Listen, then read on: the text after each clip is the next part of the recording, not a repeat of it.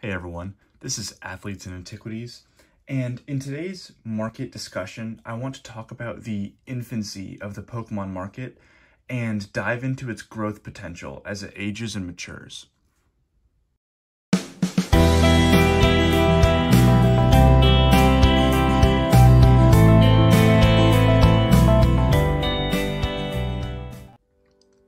So to start this video off, I first want to talk about Pokemon's more established big brother, which are sports cards. So sports like baseball and boxing are old as dirt, to be frank, and therefore baseball cards are also old as dirt. Widely considered the oldest baseball cards ever printed are by Peck and Snyder in 1868. Let's just like think about that for a minute. For context, the Civil War ended in 1865, just three years earlier. When these cards were printed, Ulysses S. Grant was just elected into office and Wyoming wasn't even a territory yet.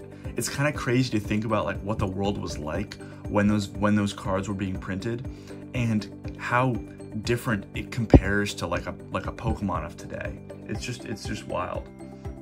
So here I have a boxing card from 1910 and a 1952 uh, Jackie Robinson card and these two symbolize vintage cards in the sports card world. And on the right, I have a first edition uh, Zapdos and an unlimited Charizard to symbolize vintage Pokemon.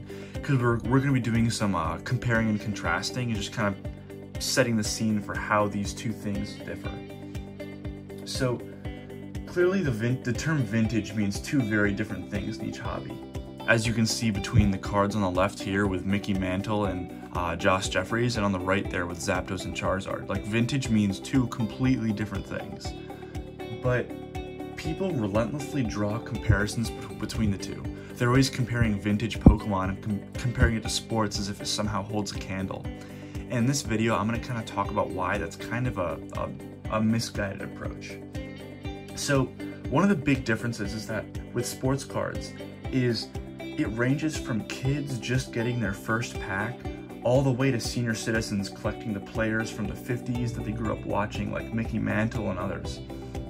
No matter how old you are, sports cards existed for decades before you were even born.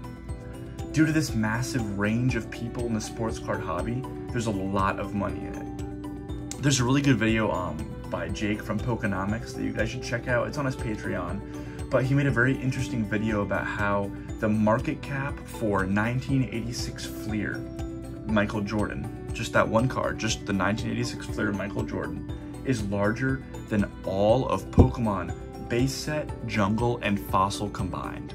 So if you don't know what market cap is, basically you take the price of a certain card or a certain item and you multiply it by its population. So what Jake did was he took the prices of PSA 1 through PSA 10 Michael Jordans and multiplied it by the populations of each of those cards. And that market cap was higher than all first edition base, all shadowless cards, all unlimited cards, all jungle first edition unlimited, all those up through fossil, all those cards in the PSA registry broken down by price, he multiplied them out. And the Jordan just that one card is worth worse worth more than those three sets of Pokemon combined. It's crazy how big the market of sports is and how minuscule Pokemon is. We're we're in the weeds of Pokemon, so we think it's everywhere, but in the grand scheme of things, it's really not. So that just kind of shows how young the Pokemon hobby is compared to sports cards. So while people of all ages grew up with sports cards, the opposite is true for Pokemon. Pokemon as an IP originated in 1996 and it swept across the world in 1999. So we're just going to do a little bit of uh, estimations here, but let's say the average fan of Pokemon at that time was 12 years old. I'm sure there are some older, some younger, but let's say the average age of a Pokemon fan in 1999 was 12 years old. That means that those oldest fans of Pokemon at this moment in 2022 are about 35 years old.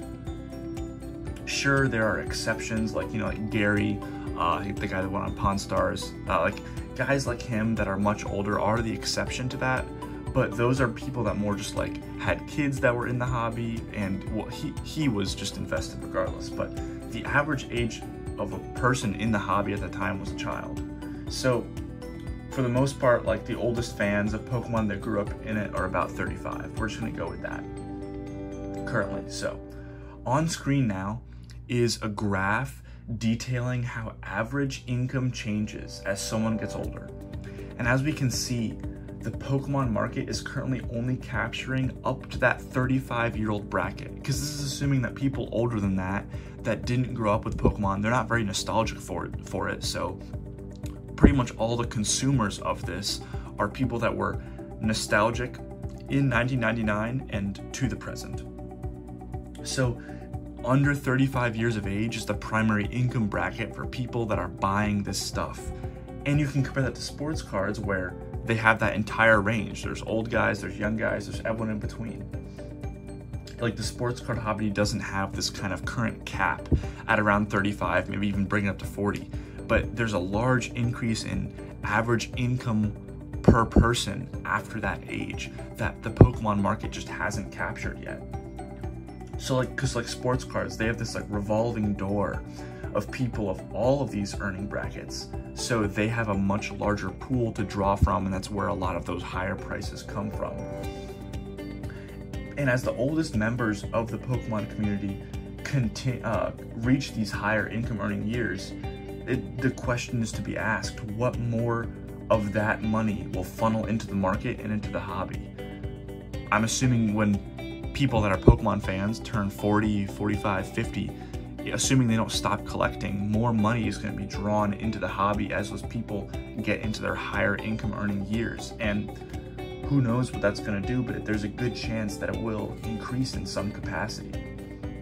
So this is more of just a quick video that I kind of wanted to explain just to see what you guys thought about this. But in closing, the reason why I made this video is I see a lot of talk about people comparing grails of Pokemon to the grails of sports people compare first edition base uh, Charizard prices to 1952 Topps Mickey Mantle. I see people comparing 1986 Fleer Jordan to uh, the Pikachu Illustrator. And like, obviously, like you can, same thing is happening with like Honus Wagner and stuff like that. And all of these just seem very uh, like nonsensical. Cards like that, cards like the Honus Wagner, the Mickey Mantle, they're in another stratosphere than Pokemon is currently. But as the Pokemon hobby matures, who knows where those cards will rank? You know, currently, a Mickey Mantle is head and shoulders above a Charizard, but if you can say that the Mickey Mantle means as much to the sports card hobby as the first edition Charizard does to Pokemon, as the maturity of the Pokemon market increases, could those two things get closer together? Maybe, maybe not, because the Mickey Mantle is sports are bigger than Pokemon. Sports are uh, they're everywhere. Even like casual people will watch the World Series. They'll watch the Super Bowl, and we're not seeing that quite with Pokemon. So it's not a one to one. But as the Pokemon market does mature, will the with will those items start to be comparable? You know, maybe, maybe not. But I just kind of wanted to explain this because right now they're so far apart that it's you can't even compare them. There is no equivalent to the Honus Wagner. There is no equivalent to the Mickey Mantle because it's too the, the hobby is too young. The Honus Wagner, it was uh, in 1912, around the same year as this card, this Josh uh, Jeffries boxing card.